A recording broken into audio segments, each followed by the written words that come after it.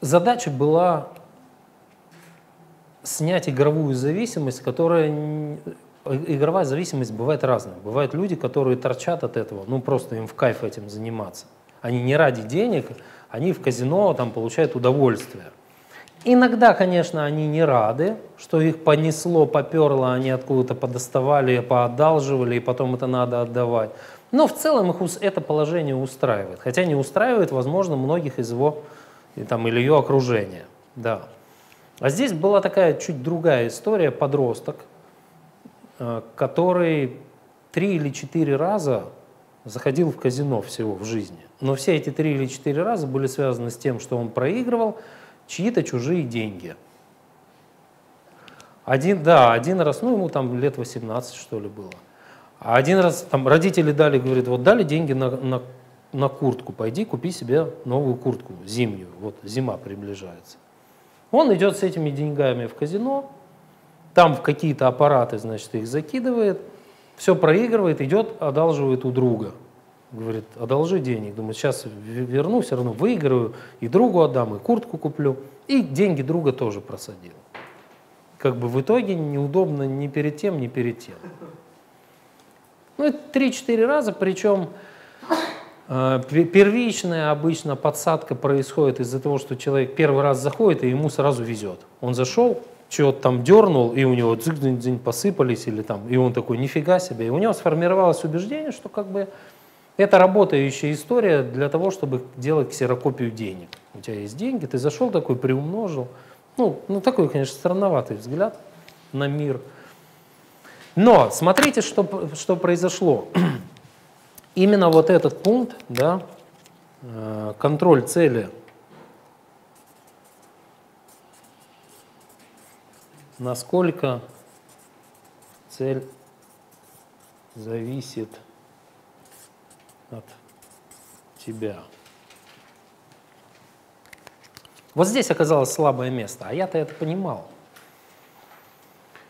Я, я когда выяснил, что он считает, что с помощью казино можно там умножать имеющиеся деньги на какой-то коэффициент, я говорю, а как ты думаешь вообще вот от твоего везения, от того, там, к какому ты подойдешь аппарату, вообще от тебя, от самого, ну, на сколько процентов зависит?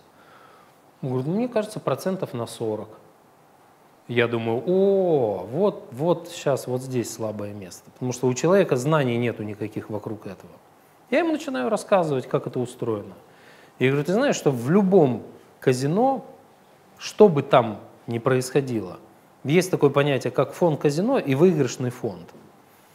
И любая ставка тут же делится на две неравные части – Обычно 70 или 80 процентов – это то, что казино никогда не проиграет. Это их выигрыш. А 20 или 30 процентов идет выигрышный фонд. То есть, если ты подошел и засунул куда-то там 100 рублей, из этих 100 рублей ты сможешь выиграть только 30. Для того, чтобы выиграть больше, чем 100, такие же, как ты, должны тоже туда прийти и оставить там какое-то количество денег. Более того, казино выгодно для того, чтобы, ну, выгодно то, чтобы выигрыши были большими. Чтобы человек прямо увидел, что кто-то снял джекпот, что кто-то выиграл не 200 рублей, засунул 100, 200 выиграл и пошел. А засунул 100 и выиграл 50 тысяч. Вот это круто. Теперь представь себе, сколько там нужно проиграть для того, чтобы выиграть 50 тысяч. Но и, и для того, чтобы увеличить шансы, тебе нужно постоять там и понаблюдать, на каком из этих автоматов просадят больше всего денег. Тебя пустят кто-то туда, ну, хотя бы на 5 минут, чтобы ты стоял такой, охранник подходит, говорит, скажите, а вы здесь что делаете? А, а ты ему такой говоришь, да я просто посмотреть. Он такой, знаете, как это? Я, я только спросить. Вот это.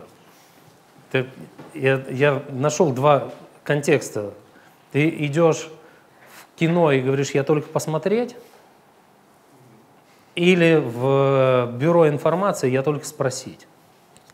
Так, разорвать шаблон людям. Подходишь к кассирше, говоришь, я только посмотреть. Можно? Вот, ну, то есть нельзя. Вычислить не можешь, не дадут. И с этой всей историей я ее, давайте, чтобы вы поняли, рассказывал раза в четыре дольше. С нюансами. Я когда-то, мне было интересно, я программировал, когда-то делал покер, такой сетевой. Я ему рассказал, как там, насколько случайным числом часто вообще выпадают выигрышные комбинации. Реально очень часто, очень часто. Поэтому их надо не давать, для того, чтобы было интереснее.